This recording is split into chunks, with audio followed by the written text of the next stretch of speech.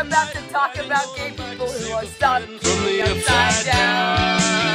Stranger Things, you know we're talking about Stranger Things. Alright folks, get ready for a video about high school stereotypes, 1980s vibes, and a gay little black bandana because we are talking about Steve and Eddie! Woo!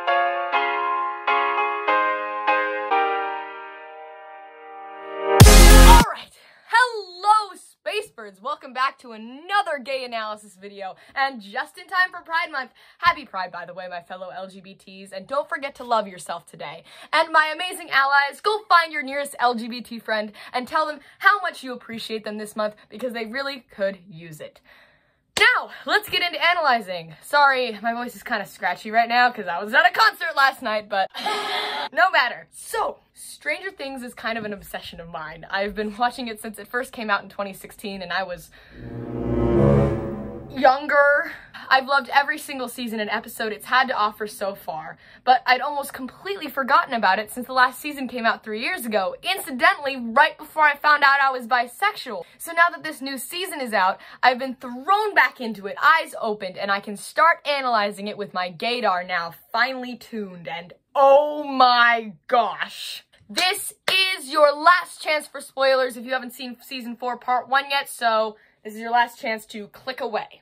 Alright, with them out of the way. I know there's already a lot of queer coding going on and other, even canon, LGBT characters happening throughout this series, but today we are going to be focusing on the two characters, Steve Harrington and Eddie Munson why I think they work so well together as a ship, and why they may both be not very heterosexual. So, this essay is going to be focusing on evidence within the show about their supposed queerness. And I know the immediate counter argument is, it's the 1980s, of course they're not gonna be gay. Well, I hate to break it to you, my heterosexual friend, but our kind did not magically spring into existence in 2011 with the release of Lady Gaga's Born This Way, contrary to popular belief. Gay people people have been around for a very long time, and while homophobia would have been prevalent back then, it's not unrealistic to have characters who are LGBT, so suck it! So, with that out of the way, let's talk about the not-so-straightness of the jock and the geek. Since this seems to be the more obvious of the two, let's start with the ever-lovable Eddie Munson. Now, there are some specific clues as to what his sexuality might be, such as the bandana he has in his pocket, which, as pointed out by this Twitter user and cited in this Screen Rant article, was a code used by gay men in the 1970s and 80s, specifically with Eddie's bandana being black and is in, in his left pocket. It means some, um, very interesting things. Um, I get into it more, but this is more of kind of a PG-13 channel. Don't worry, I'm all for sex-positive LGBT discussions. I'm just not the person who's the most qualified in this area of expertise. Anyway, there's actually a really interesting article about this, which I will cite in the description as well, like how the bandana code came to be, how it was used, and what it means and stuff. I recommend checking it out. Now, this is already an interesting bit of evidence, whether it be on purpose or just a funny accident by the costume designers. But this being paired with his being a social outcast already stacks up the evidence towards his case. But there's a lot of really obvious metaphorical evidence in season 4 as well, especially in episode 1, and it's about Dungeons and Dragons. Hell, Eddie's introduction in this, in this season starts with him at the table with his D&D club mocking an article which calls out D&D as being dangerous Satanism. Dungeons Dragons. At first regarded as a harmless game of make-believe, now has both parents and psychologists concerned. Studies have linked violent behavior to the game, saying it promotes satanic worship, ritual sacrifice, sodomy, suicide, and even murder. Which D&D scaring parents in the 1980s was absolutely a real thing. Again, article about this down below. But combined with the fact that Eddie is wrongly accused of murder and then chased on a witch hunt by an angry mob of violent Christian parents for the rest of the season, don't you think it could possibly be a metaphor for something a little bit more than D&D? Hmm, what else can we think of that is a harmless action that is wrongly accused of being evil and anti-Christian and often associated with social outcasts. I'm saying that in Stranger Things, the Dungeons and Dragons cult scare is a metaphor for the LGBT folk, and the townspeople that attack them is a metaphor for homophobes. And it really is a great metaphor, by the way. I'm hoping Stranger Things doesn't shy away from this in part two of season four, or possibly season five. And the outlook seems good since they already have dived into this subject, as seen in the previous season, which brings me to my next piece of evidence. Wow, airlocks and aviaries, your transitions really are incredible. You just jump from one topic to the next so seamlessly. I know, this was actually entirely on accident. I wrote this whole thing like in five minutes earlier. anyway, now let's look at this evidence from episode one of season four, the drug deal with Eddie and Chrissy. Now, you might be saying, this is Eddie practically flirting with a girl. How can you be reading queer evidence from this? To which I say, Look hard. Do you ever feel like you're losing your mind? Uh, you know, just on a daily basis. I mean, I feel like I'm losing my mind right now doing a drug deal with Chrissy Cunningham, the queen of Hawkins High. You know, this isn't the first time that we've, um, hung out. No? You don't remember?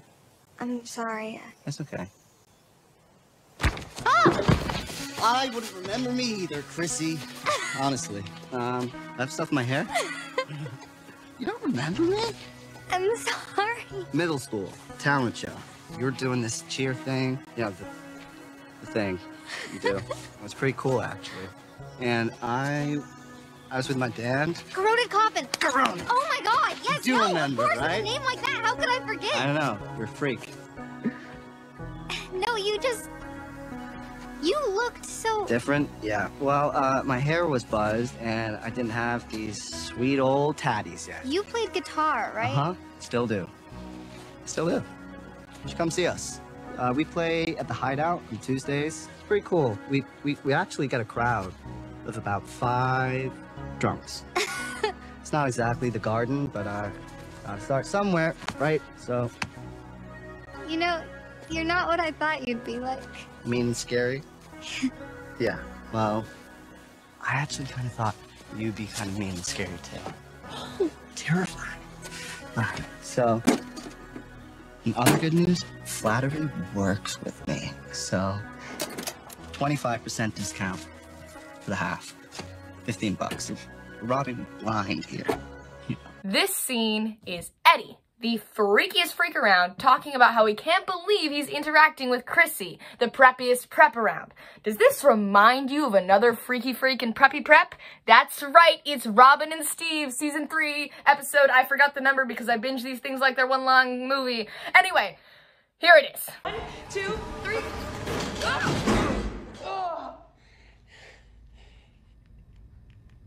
Don't cry, Robin. Are you laughing? Jeez. I'm sorry. sorry, it's just, I can't believe I'm gonna die in a secret Russian base with Steve the Hair Harrington. It's just too trippy, man. We're not gonna die. Do you remember um, Mrs. Click's sophomore history class? What? Mrs. Clickety Clackety. That's what us band dweebs called her. Tuesdays and Thursdays, so you were always late. We had the same breakfast. Bacon, egg, and cheese on a sesame bagel. I sat behind you, Mr. Cool. The king of Hawkins High himself. Do you even remember me from that class? Of course you don't.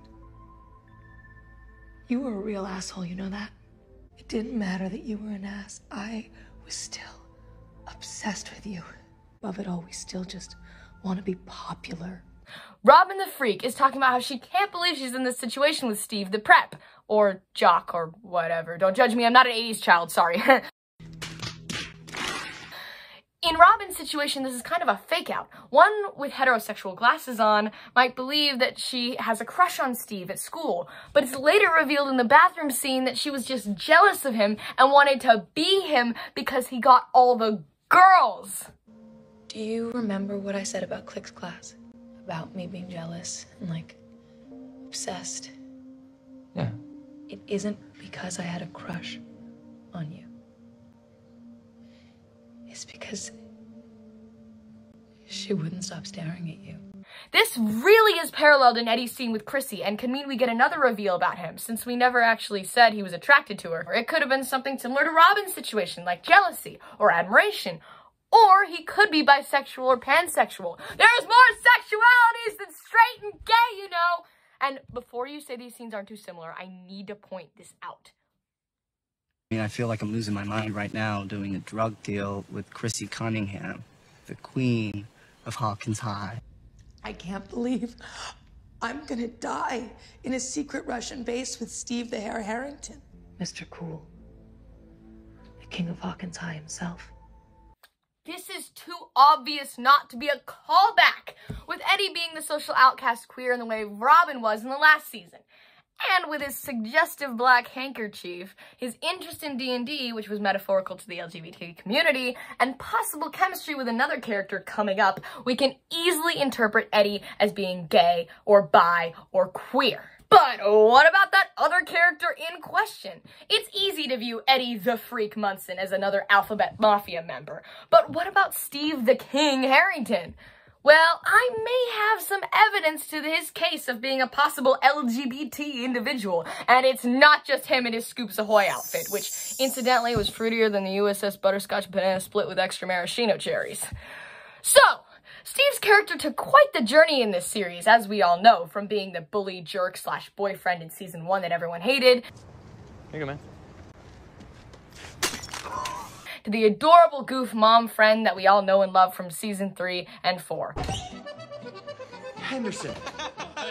Henderson, he's back. I'm back. You got the job. You got the job. Season two is kind of like middle ground. I may be a pretty shitty boyfriend, but turns out I'm actually a pretty damn good babysitter. Heck, this boy went from saying homophobic slurs to Jonathan in season one You know what, Byers? I'm actually kind of impressed. I always took you for a queer, but I guess you're just a little screw up like your father. to being totally cool and okay with Robin coming out to him in season three. Did you OD over there? No, just, uh, just thinking. Okay. I mean, yeah. Tammy Thompson, you know, she's cute and all, but I mean, she's a total dud. So why is that? Well, in this queer reading we're doing of him, we can attribute this to internalized homophobia or biphobia. See, well, Eddie took the route of accepting his otherness and possible queerness, embracing being an outcast, and just owning his role of not fitting in. Just love him! Steve went the opposite route, crushing himself down to fit in and be popular. Since Eddie's uncle was already a weird dude, he had a role model for this otherness. Steve didn't have a role model like this and instead had a bad dad who established as horrible to him and pushed him into these preppier things probably, like basketball and stuff. So Steve took the opposite way and repressed himself by throwing himself into the popular crowd, getting a girlfriend, acting like a jerk just to fit in, to prevent him from being in with Eddie's group to the disappointment of his father. Even though he does go through a lot of growth, we can still see some of this internalized prejudice in season three when he's adamantly insisting to Dustin, "Oh no, he's not a nerdy D and D guy, guy like you guys are. No, I'm not a nerd. Don't lump me in with them." No, no, no, no, don't lump me in with them. I'm not a nerd. And then we already know this nerdiness is already sort of a metaphor. So, we see Steve develop as he feels guilty about the things he's done and tries to make it right by cutting his ties to the toxic straight people he surrounded himself with, who he has to repress himself to be around anyway. Are you serious? Yeah, right I'm now, man? serious. You shouldn't have done that. Done what? You know what? You mean call her out for what she really is? Oh, that's funny because I don't remember you asking me to stop. I should have put that spray paint right down your throat. What the hell, You Steve? know, neither of you ever cared about her. You never even liked her. Because she's not miserable like you two. She actually cares about other people. The slut with the heart of gold. I told you to watch your mouth. And goes to make amends to people who he has hurt. Need a hand? Did you have something to do with this? I just... I want to help. Steve, hey, listen Nancy. to me. What? You need to leave. No, I'm not trying to start anything, okay? I don't care about that. You need no, to no, leave. No, no, listen, I... I... I, I, I'm, I messed up, okay? I messed, I messed up. Okay? Really, please. I want to make things right. Okay, please. Please. What? Hey, what happened to your hand? Is that blood? Oh, nothing. No, it was an accident. Through the later seasons, we can see his true self come out. With his newfound friendship to Dustin and the rest of the kids, where we can see him truly caring about people and having the desire to protect these young and reckless friends. This is not happening. No, no, no, no, no. No buts. I promise I keep you shithead safe, and that's exactly what I plan on doing. We're staying here on the bench, and we're waiting for the starting team to do their job. Does everybody understand that? This isn't a stupid sports game. I said, does everybody understand that? Being friends with a bunch of 11 year olds instead of the popular crowd at school, plus the knowledge of the world possibly ending, enforced the idea that nothing superficial like popularity really matters, has given Steve a chance to be his true, kind, goofy, nerdy, and possibly queer, gay, or bisexual self, which we love him for. Oh my god, you're a whole new man. Right? So we've explored the possible queerness in the subtext of Steve Harrington and Eddie Munson separately. But what about the two of them together as a relationship? Well, superficially, these two make a really fun pairing with Steve's preppiness and Eddie's nerdiness complementing each other perfectly. Or Steve's lovable cluelessness and Eddie's intellectual and logical mind. Or, of course, the ever classic, looks like a cinnamon roll could kill you, looks like he could kill you is actually a cinnamon roll. All very common tropes, but there's something to be said for them. Opposites attract, it's true. And this has a very strong potentiality in and of itself. But then, of course, we have to couple this up with the fact that these two might actually be each other's type. Looking at the Eddie and Chrissy scene with a bisexual or pansexual reading may prove that Eddie might be into preppier folks. And Steve had a brief crush on Robin, another brown-haired weirdo who's a dork with an attitude. And also, can we talk about how Eddie and Nancy are quite similar in the looks department? I've got, I mean, they've got that same dark curly hair and the same huge eyes with that little look that they do. Sorry, I was being bisexual. I mean, anyway, come on, Steve. We get it. You have a type. Now, one might say that these two have nothing in common, which I get, but it's not quite true. You're overlooking the monumental factor that is the mutual friendship with Dustin and the gang. They both have the same close mutual friend with they, which they have bonded with, which, whether you ship them romantically or platonically, you have to agree is pretty sweet and would make for some nice bonding moments. Oh, they barely got an interaction in the show. Ha ha ha! Joke's on you! I've shipped characters for much less. And I'd hardly call this barely an interaction. Eddie. Eddie. Hey, man. Uh, listen, I just, uh, I just want to say thanks for saving my ass back there. Shit, you saved your own ass, man.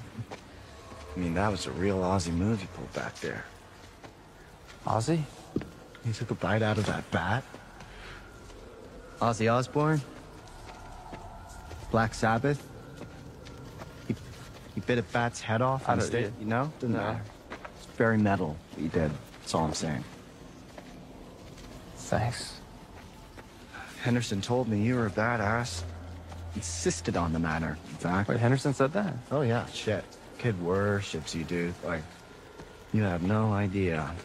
It's kind of annoying, to be honest. I, mean, I don't even know why I care what that little shrimp thinks, but, uh, guess I got a little jealous, Steve. I guess I can accept the fact that Steve Harrington is actually a good dude. Rich parents, popular, chicks love him. Not a douche? No way, man. No way. That, like, flies in the face of all the laws of the universe and my own personal Munson doctrine. Still super jealous as hell, buddy. Great. Which is why I would never have jumped in that lake to save your ass. Not under any, uh, normal circumstances.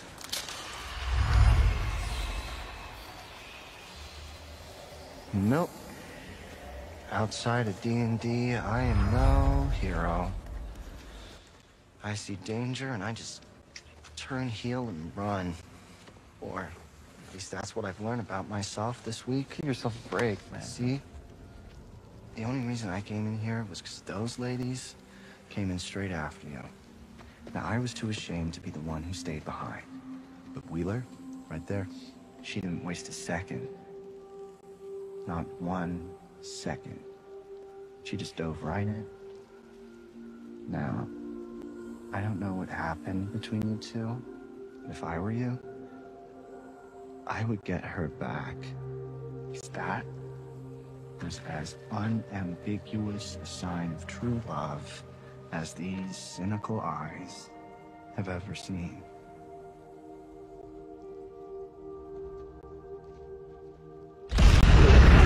Now, to be fair, Eddie is kind of pushing Steve on Nancy here a little bit. But we've already established multiple times that Steve does not like Nancy anymore. Are you still in love with Nancy? No. And Nancy does say she loves Jonathan, while she's never actually said she's loved Steve. And this could be a sort of deflection on Eddie's part also. A queer person with a crush on a straight person would definitely try to push them away so as not to get their own hopes up and have their dreams crushed. Not speaking from experience or anything at all like that. anyway, there's more to be gained from this scene. Steve being not like Eddie expected draws another parallel to the Eddie Chrissy scene. If this can be interpreted as flirtatious, You know, you're not what I thought you'd be like. Mean and scary? yeah. Well, I actually kind of thought you'd be kind of mean and scary too. Oh, terrifying. then so can this. I guess I can accept the fact that Steve Harrington is actually a good dude. Plus, Steve thanking Eddie for saving him, Eddie opening up to Steve about how terrified all this makes him. Again, this could be a great platonic relationship, but it also has some really good romantic potential too. What with Eddie is the lonely outcast who just joined the group and needs a break, plus Steve, who is confused in this season and for some reason can't seem to find a girlfriend or figure out what exactly it is that he wants, but is looking for romantic potential, is something. And when the evidence is stacking up for Eddie already having his queer awakening, and Steve recently coming into the knowledge and acceptance of the idea of queerness with Robin, these two would just make sense in the narrative, or at least in my mind. Let me know what you guys think about Steve Harrington and Eddie Munson. I'd love to hear more interpretations, and I can't wait to see what happens in the next part of season four. I love Steve and Eddie, and if Netflix does anything to them, I will personally drive into the studios and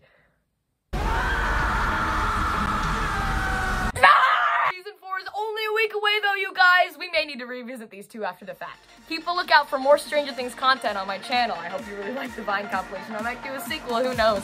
And as usual, I hope you enjoyed the video. Have a lovely day, and remember, you are valid.